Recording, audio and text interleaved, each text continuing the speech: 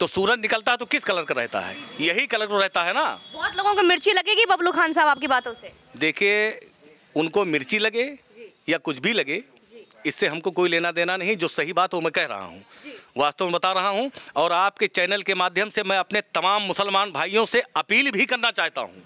तमाम उन हिंदू समाज से अपील भी करना चाहता हूँ कि अगर देश को आगे बढ़ाना है राष्ट्र को आगे बढ़ाना है तो भारतीय जनता पार्टी को बार बार जिताना अभी देख लीजिए।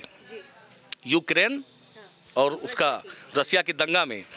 हमारे देश का प्रधानमंत्री, मेरे देश का प्रधानमंत्री,